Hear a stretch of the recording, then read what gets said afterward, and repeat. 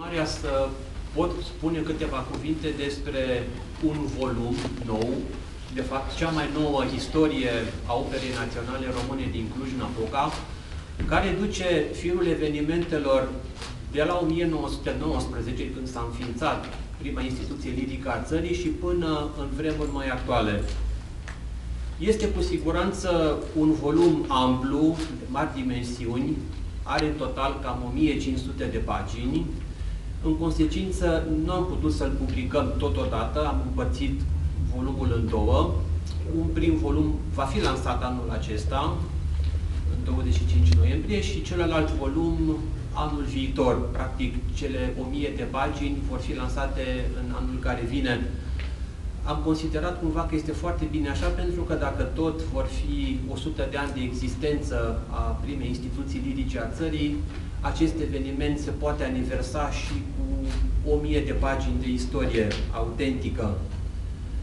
Uh, vreau să vă spun cum s-a născut acest proiect. De fapt, această istorie, care de fapt aparține lui Caiu Solariu, personaj remarcabil al operei și al culturii românești, deci am început acest proiect acum 2 ani de zile, de fapt, când s-a și înființat. Am, am și conturat un parteneriat între Academia Română, Institutul de Istorie George Barițiu și Opera Națională din Cluj-Napoca, Opera Națională Română, pentru că ambele instituții aniversează în curând propriul centenar, opera anul viitor și Institutul Academiei Române în 2020. Și atunci ne-am gândit că dacă tot în decurs de un secol nu s-a produs niciodată o apropiere, un parteneriat, îl rememorez pe regretatul academician Nicolae Droiu, care spunea că ar fi ideal să nu ne sărbătorim centenarul singurii. E bine să mergem la alții, să vină alții la noi, să învățăm unii de la alții, să facem ceva împreună. În consecință, acest parteneriat nu este doar ceva formal, ca să dea bine așa pe hârtie, chiar funcționează de vreo 2 ani de zile și am făcut până acum lucruri frumoase. Am lucrat la un volum de uh, istoria operei în imagini, am lucrat la și continuăm să lucrăm la revista operei și firește uh, partea cea mai consistentă este această istorie a lui Caiu Solaru pe care vrem să o publicăm integral pentru că așteaptă de vreo 50 de ani să vadă lumina tiparului.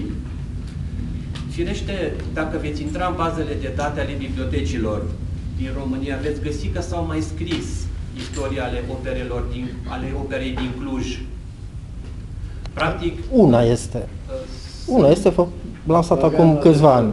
Mai există, i-am mai găsit vreo două sau trei. Așa, monumentală? Uh, dar o lucrare monumentală, într-adevăr, despre istoria operei române din Cluj nu există.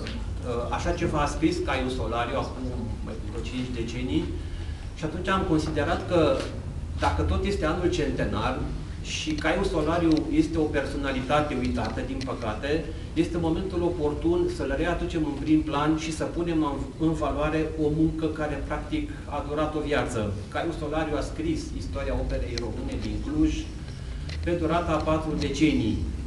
A fost un personaj interesant, a fost un personaj discret, deosebit de elevat, a fost uh, director al operei din Cluj în timpul celui de-al doilea război mondial, a fost premiat de Academia franceză pentru merite culturale deosebite și, practic, aș putea să spun din ce am citit în documente că istoria aceasta opere pe care a scris-o este, este viața lui. Și atunci am considerat că uh, nu este doar vorba despre o istorie, ci o repunere a unui personaj într-un loc pe care îl merită, în galeria marilor figuri ale culturii românești, care au săvârșit până la urmă Marea Unire. Caiu Solariu a prins acele vremuri, i-a cunoscut pe corifeii Marii Uniri, a participat la fondarea acestei instituții, în consecință, istoria lui de 1500 de pagini este o capodoperă, este de fapt o comoară pe care el a lăsat-o operei naționale române, a lăsat-o melomanilor din România și firește uh, posterității. Caiu Solariu, ca și om de cultură, are într-adevăr o biografie fascinantă. Eu l-am descoperit pentru că lucram la uh, catalogarea arhivei operei. Cred că știți, opera română are două fonduri mari de arhivă o parte care se păstrează la arhivele naționale și o parte care există aici, se poate consulta aici. Și atunci, în contextul acestui parteneriat între cele două instituții, între Academie și între Opera, am fost foarte bucuros când am aflat că există un asemenea fond și am venit cu plăcere să ajut la catalogarea lui.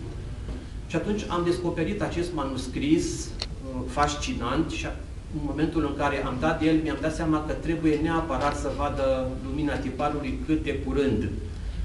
Uh, Caiu Solariu, firește, și-a dorit să vadă acest manuscris tipărit de mai mult timp. Nu știu de ce nu s-a întâmplat până acum. Faptul că se întâmplă în anul centenar, centenarul operei din Cluj, este un lucru extraordinar și cred că este cumva o reparație, este uh, un tribut de prețuire și de respect pe care opera, comunitatea, oamenii de cultură îl oferă acestui personaj.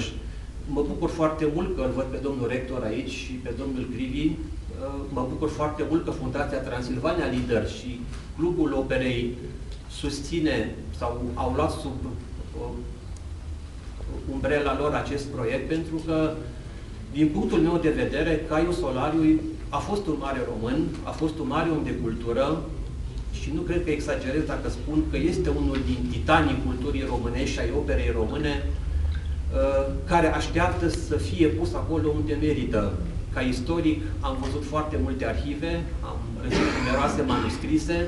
Uh, pot să vă spun cu siguranță că nicio operă din România nu are un asemenea manuscris, o asemenea operă, o, o asemenea istorie de o asemenea învergură. Deci faptul în sine că apare în anul centenar este, este un lucru deosebit. Mai vreau să spun că nu am ales să lucrez singur la editarea acestui manuscris pentru că am încercat cumva să respect tradiția pe care însuși Caiu Solariu a imprimat-o cât a fost director aici, spuneam în timpul celui de-al doilea război mondial și chiar și după. Era ca și mine bănățean de origine, s-a îndrăgostit de operă la un moment dat și n-a mai plecat de aici. Aici uh, a și îmbătrânit, pe s-a și pensionat